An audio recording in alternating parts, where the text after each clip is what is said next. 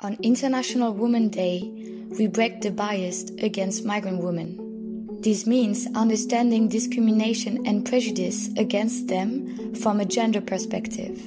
To speak of migrant women is to refer to a diverse group of individuals with different ages and nationality carrying suitcases filled with their personal stories, dreams, and life struggles. Through the act of migration, women are agents of positive economic and social change for societies. However, they face persistent inequalities both in their countries of origin and their countries of destination. With unequal access to resources, justice, labor market, and decision making process. Studying the discrimination experienced through a gender lens means putting the finger on the specific violence linked to the fact of being a woman in the migratory process. More and more women are migrating alone, seeking asylum for issues related to gender based persecution.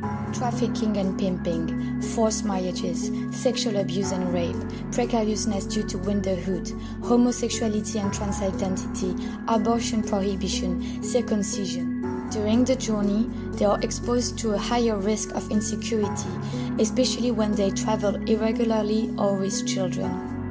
Upon arrival in a host country, migrant women may also face gender based discrimination. While in principle, all EU countries recognize gender related grounds for persecution when granting asylum, in practice, such persecution is not always taken into account.